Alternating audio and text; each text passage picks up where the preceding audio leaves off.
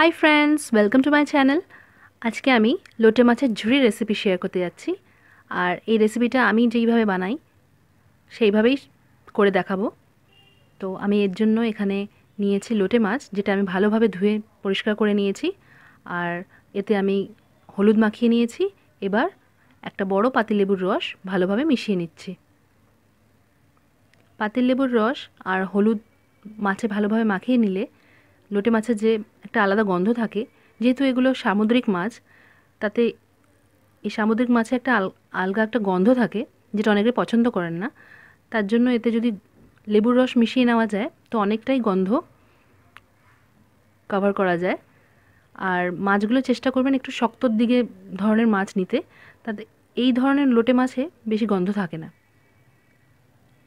আমি আজকে লোটে মাছটা আমি বেগুন দিয়ে করব, তাই আমি এখানে বেগুনগুলোকে ছোটো টুকরো কেটে নিয়েছি আর পেঁয়াজগুলোকে এইভাবে পাতলা পাতলা লম্বা লম্বা কেটে নিয়েছি।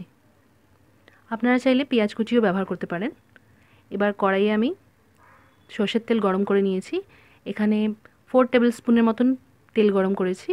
আর রান্নাটা সর্ষের তেলেই করতে হবে, কারণ মাছের রেসিপি সর্ষের তেলেই বেশি ভালো যায়। তো আমি তেলটা ভালোভাবে গরম হয়ে গেলে আমি এবার পেঁয়াজগুলো দিয়ে দেবো। পেঁয়াজ কুচিও ব্যবহার করা যেতে পারে এতে। আমি এইভাবেই দিলাম পেঁয়াজগুলো।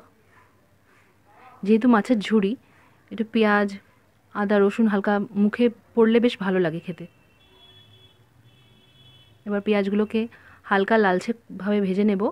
আর লালচে যখন পেঁয়াজটা লালচে ভাজা হয়ে যাবে, তখন এতে আমাদের কুচনো বেগুনগুলো মিশিয়ে নিতে হবে।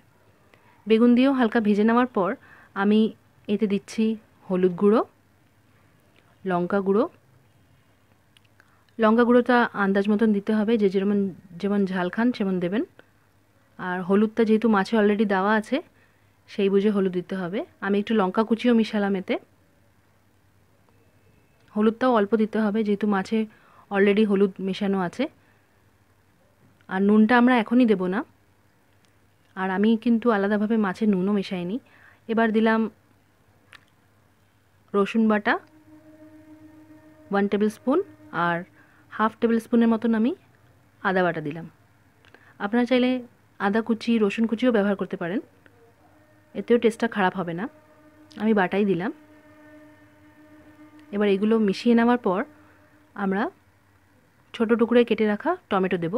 এখানে টমেটো পেস্ট আমি ব্যবহার করছি না, কারণ লোটে মাছ দেওয়ার পর একটা আলগা জল ছাড়ে এই মশলার সাথে মিশে যাওয়ার পর। তাই যদি টমেটো পেস্ট দেওয়া হয়, তো আলগা আরেকটা জল ছাড়বে। তাই আমি এইভাবে টমেটো কুচি দিলাম।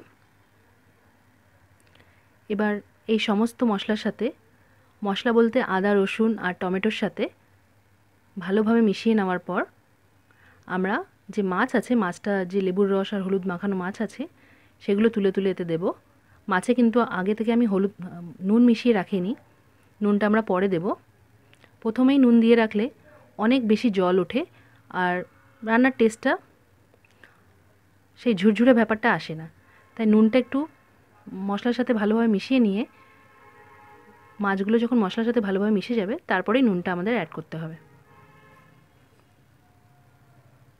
এই যে আমি এইভাবে এখন পেঁয়াজ, আদা, রসুন যে বাটাটা আছে, তার সাথে বেগুনের সাথে ভালোভাবে মাছটাকে মিক্স করে নিচ্ছি।